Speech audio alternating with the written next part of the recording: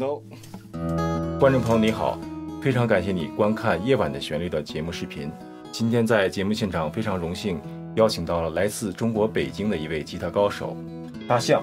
嗯，你好，你好，陈老师。你好，嗯，呃，你这次来美国是什么样的一个行动或者是目的啊？嗯，我是跟着李健来美国做一个演唱会的巡演活动。太好了，嗯，这个巡演在洛杉矶。还在纽约是吧？对，一共有两场，第一场是在纽约，我们是刚刚结束了纽约的演出，然后飞到洛杉矶的。哇，排程还是很满的。对，是的。对，跟我们的朋友们稍微介绍一下你自己吧，比如说，呃，你的演艺生涯，或者你的学琴的经历。嗯，好的。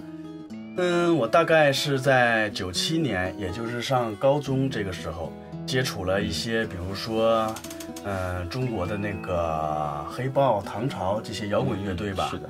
然后正好赶上那个时候，也是嗯，校园民谣比较风行的阶段，就是大家都可能都在弹吉他这样一个乐器。当时我也是比较喜欢，然后就是利用寒假的时间，就报了一个吉他的培训班，就这样接触上了吉他这样一个乐器。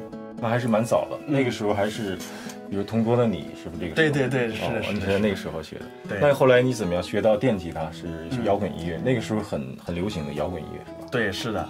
然后就是在嗯大约九九年的时候，我就是考入了北京现代音乐学院，就是专门学习电吉他这一些技巧吧。对，北京现代音乐学院我听说非常有名，是吧？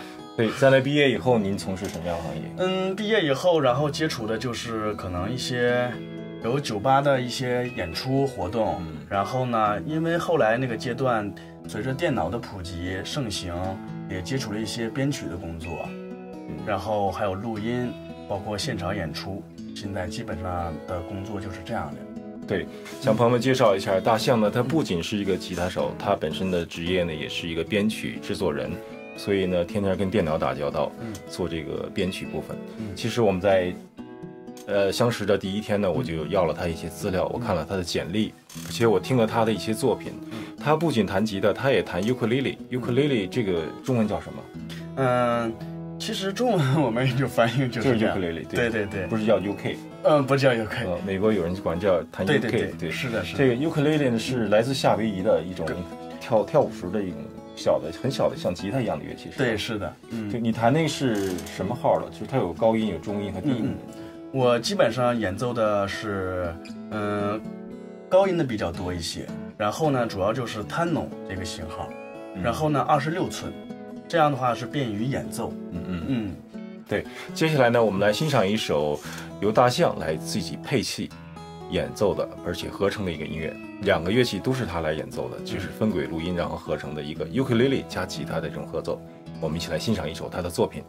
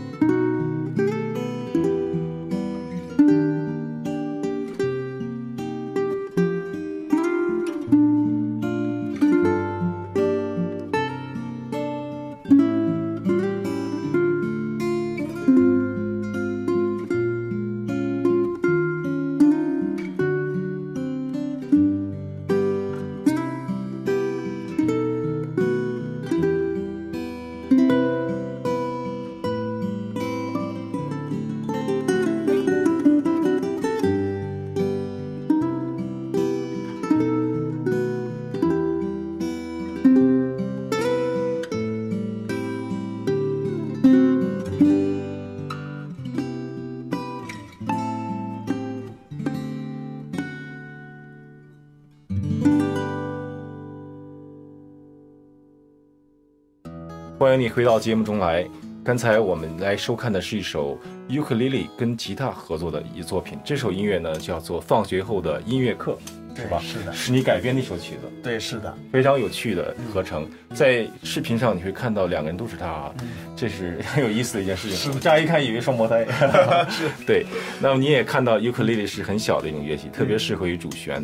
那么这里边配合上呢，就有一些改编和编曲的一个问题。我们来聊聊这个创作跟改编，还有编曲上的一些方法吧。嗯，你从事的主要工作有一项就是编曲和创作，这样对，是的。跟我们来介绍一下什么叫编曲，什么叫创作性，好吧？嗯，好的。对于可能大家来说的话，嗯，编曲可能是一个比较陌生的行业。因为可能大家比较熟悉，就是听到的都是最后，比如说唱的一首完整的歌曲，是的，这里面包括有乐器的演奏，还有人声的演唱，还有歌词，这些都包含在一起了。嗯，那么编曲呢，就是说在给这个人声演唱的过程中，给它包装上其他的各种各样的乐器的搭配，使得它听起来非常的丰满。也就是大家现在听到的歌曲有不同的风格。有的可能是有个弦乐啊，比如小提琴比较多一些；有的可能是吉他比较多一些，这样的感觉。那么就好像人一样，嗯，你会穿的不同样的衣服，每个人的打扮都不一样。这样就是说，编曲就是给歌曲带来不同的打扮。对，换句话说，就是一个乐曲可能就是一个，呃，简单的旋律配上词，那配器以后呢，可以编配成各种不同风格的音乐了。可以很重型的音乐，也可能很流行、很轻柔的一个音乐，那就看编曲人想把这音乐改成什么样了。那创作就不一样了，创作是在一张白纸上，没有这个歌词，也没有这个旋律。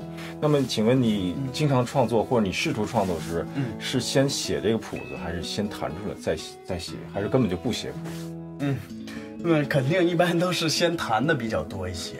对，因为对于音乐来说，肯定是要。要感性大于理性，所以说感觉就比较重要。你当你有感觉的时候，可能它可能一瞬间或者很快就消失了，所以你要抓住机会，能够记录它，或者是把它记住，就尝试演奏它，把它完成下来。这个来说是比较怎么说重要的吧？对，是大多数音乐人写作品的时候，其实都是这样，实际上是靠耳朵来判断是取还是舍。嗯，那么耳朵弹好了，觉得这东西好，那就留下来了。可能以后才会找支笔把它试图写来，或画一些简单的像地图一样，技术大什么样。那么现在科技给我们了很多的优势，可以把录下来，靠这个声音来记忆当时是怎么来思考的，怎么来去创作的。接下来呢，我们来欣赏你的另外一首演奏的作品吧。嗯嗯，好的。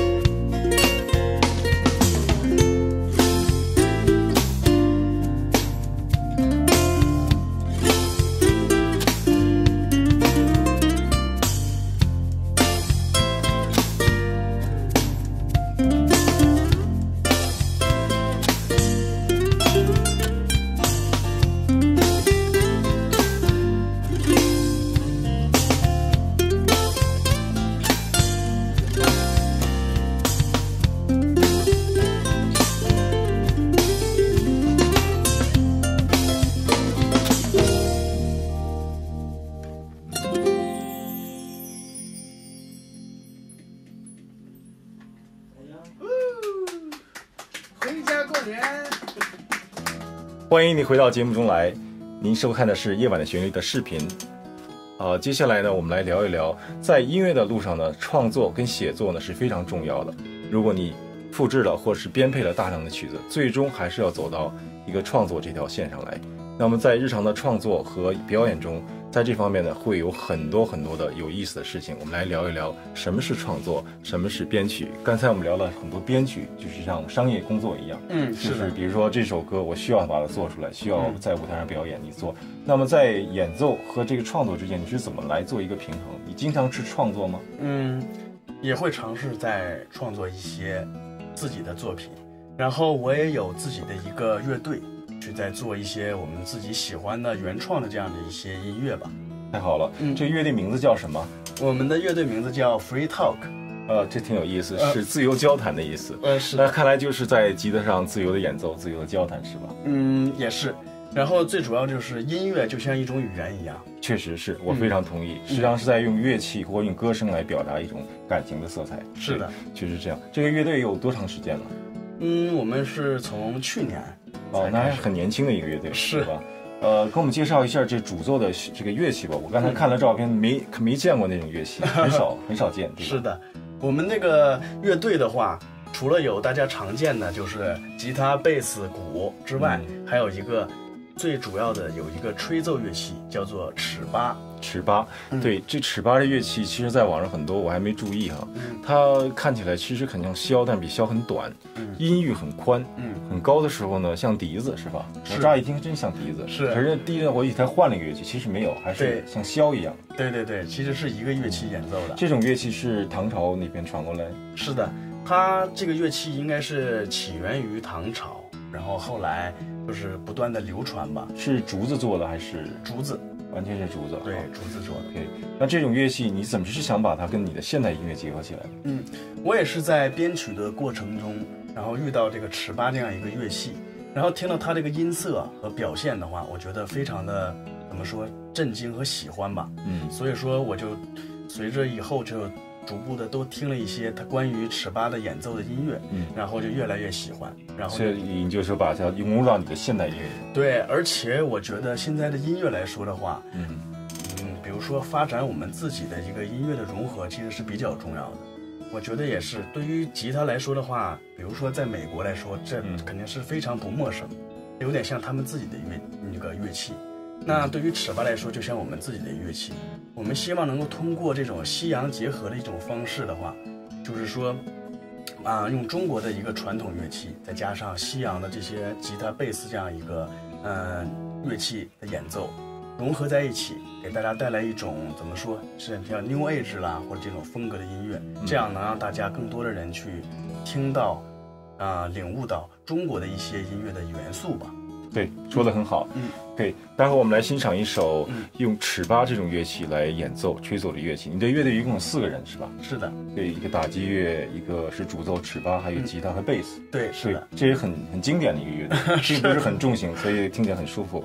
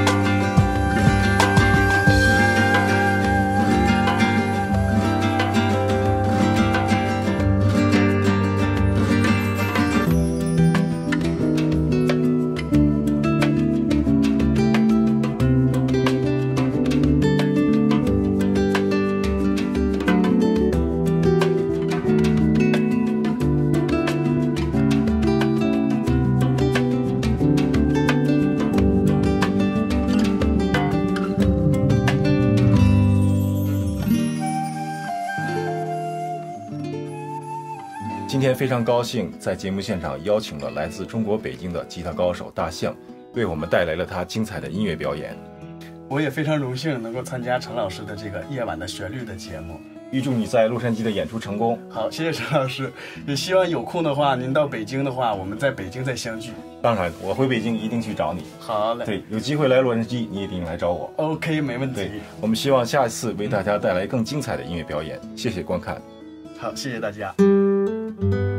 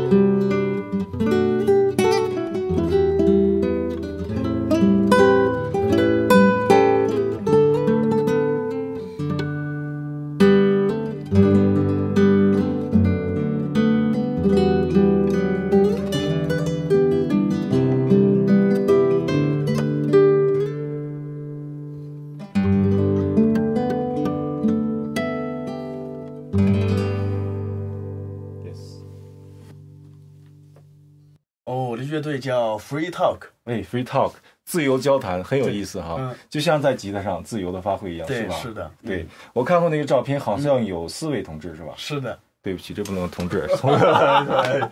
今天非常高兴能请到大象来到夜晚的旋律的节目现场，为我们带来了他精彩的音乐。